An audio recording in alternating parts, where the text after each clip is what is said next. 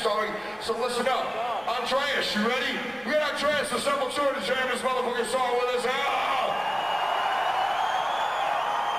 Next song is called Detroit Rock City. Go ahead, Don